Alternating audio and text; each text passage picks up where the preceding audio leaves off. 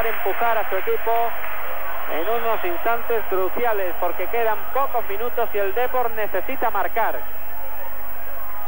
Ha tocado Mauro, la pelota para Yukic, juega con Bebeto, bajando atrás a buscar balones el brasileño que ahora lo perdió y, y atención porque hay una oportunidad muy clara para la Villa, Sonders, gol. tuvo problemas.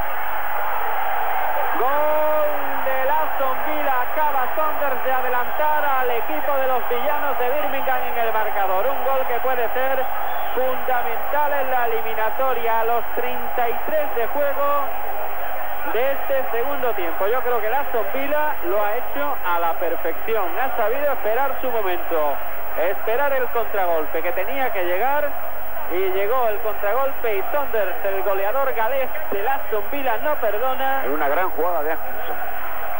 Y manda la pelota al fondo de la portería de Diaño. Pierde el de por 0-1 con el Aston Villa. Y quedan escasamente 10 minutos y medio de partido. Y un error de Bebeto nuevamente. Vino a buscar un... Recupera Donato. Insiste el Depor Donato al punto de penalti allí. Pero esos el donde más fácil lo tiene Paul McGrath.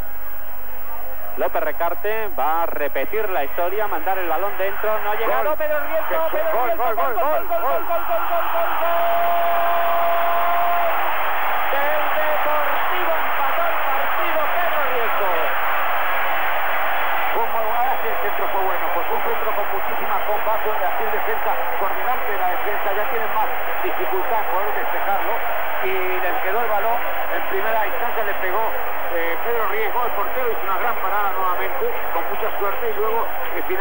Rematando al fondo de la red.